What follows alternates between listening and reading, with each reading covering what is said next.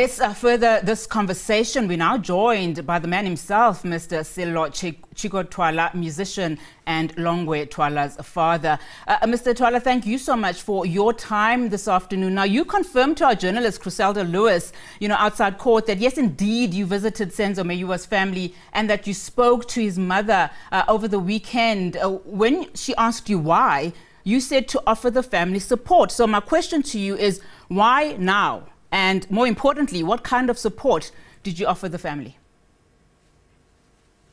Uh, good afternoon, uh, and good afternoon to the viewers. Uh, it's not the first time that I've communicated with Senzo's mom. Uh, uh, written letters before to her, doing the same thing. So my visit there actually was prompted by a journalist called Zakhele Shiba. He called me and said that he was talking to Sifiso Meyiwa uh, regarding a dossier uh, that he's busy with. And Sifiso said something about Longwe and all that. Said, no, as far as I'm concerned, I communicated with Senzo's mom. And uh, I thought this matter is before the court. We shouldn't be talking about it and all that on, on documentaries. So that prompted me to say, you know what, let me communicate with Senzo's mom uh, but uh, Zak- uh, said, no, since, you know, I'm in Durban with this dose, let me communicate with them and see if we can meet.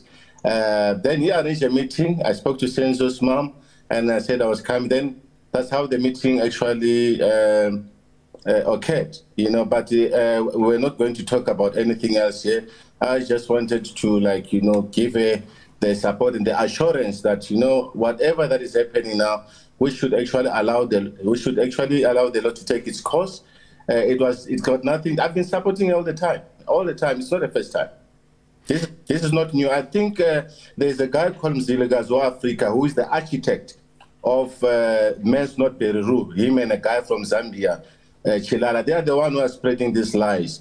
Mzilikazi wa Afrika has been fighting me ever since. You know, uh, I know that he's the one who's actually spreading all the lies about me even that my son is the one who shot. He's the one who started everything. So I'm not surprised, you know. He's the first one actually to tweet about it. And in fact, uh, Mr. Twala, some of these, um, you know, tweets are saying that you, in, in, terms of support, you are offering the world to the family. So, uh, according to you, the kind of support that you are offering is one of emotion. Uh, what, what kind of support is it exactly that you're supporting the family? I'm not the kind of person that actually goes into the media if I assist uh, people.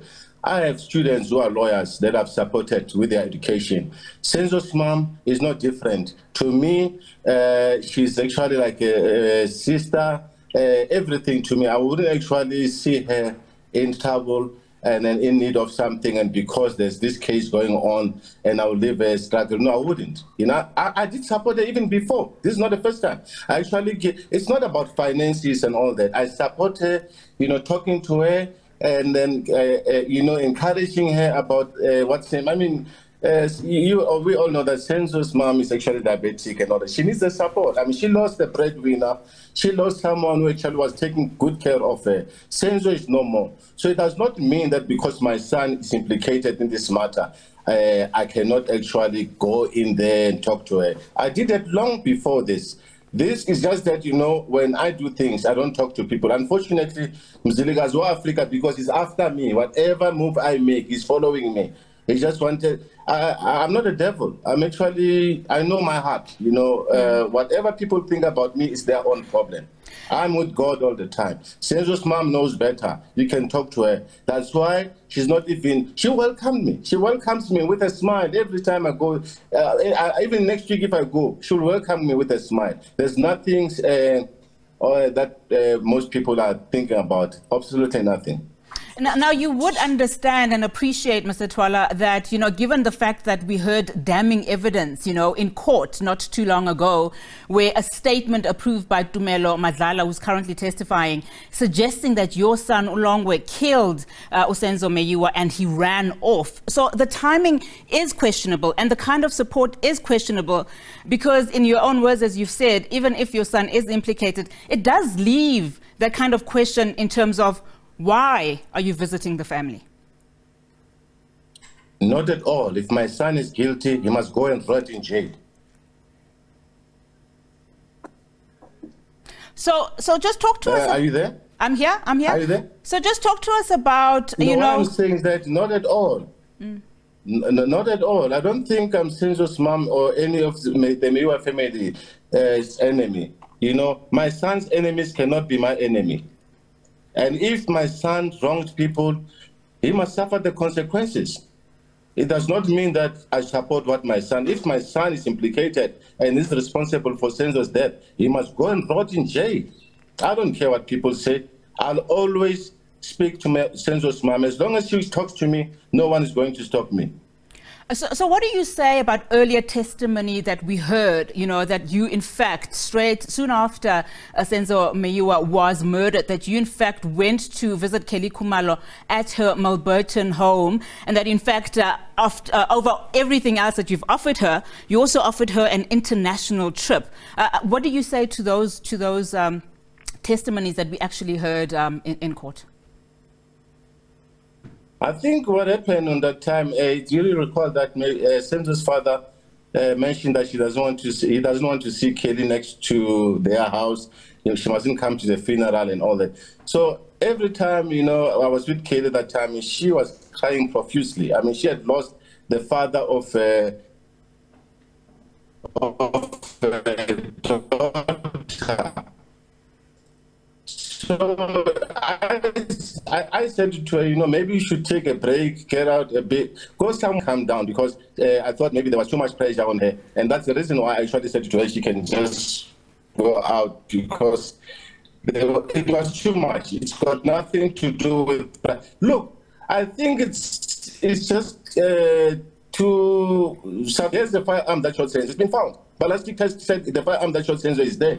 I don't know why people are actually questioning me about this. Mm. Now, of course, uh... if that firearm is long or it's mine, maybe, maybe if that firearm belongs to me or whatever, then let me be arrested or let Longwe be arrested. I'm not actually uh, defending uh, any criminality or trying to do any. I will always visit Senzo's mom. No one is going. If the person who will stop me from visiting her is her, not anyone. Ha, I'll continue. Whether my son goes to jail for life, I will go. Have the police uh, resumed talks with Longwe at this point in time, just given what has transpired in court? Are they questioning him at all?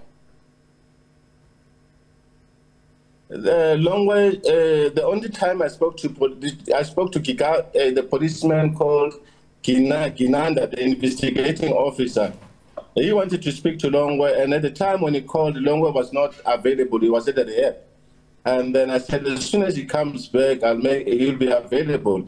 He hasn't called, but the indication that he gave me was that he will be needed as a witness. And uh, obviously, let him go and talk like anyone else. Look, he's an adult. I'm not. I'm not going to protect him. Trust me. I'm not going to do that. I'm not that kind of a person. You know.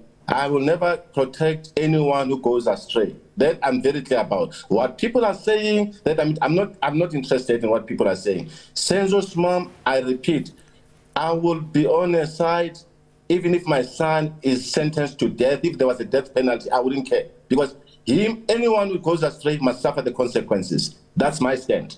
Anything else is their own problem. Should it be found, as you are alluding to, that indeed Longwe uh, knows more than he is suggesting and alluding to? Should it be found that indeed, as you say, he is then the guilty party here? Should you not then be allowing the law to take its course by, number one, refraining from visiting Senzo Meyiwa's family? No, but what has that got to do with Longwe is not charged. I'm not charged. The people who are charged, you, we know them, they're standing trial now. What are we trying to say? We are not charged. Me, me, me, I'm the same like anyone else. Well, I'm not charged. Longwe is not charged. If Longwe was charged, maybe I would understand. But he's a free man as we speak. All right, Mr. Twala. All the people who were in the house when Senzo was shot, they are free. Okay. There's no interference. All right, Mr. Twala, thank you so much for your time this afternoon. Really do appreciate it. There you have it. Uh, Sello Chicco Twala there speaking um, on behalf of himself and his son, of course, as follows uh, the recent visit he gave Senzo Meyiwa's mother um, over the weekend.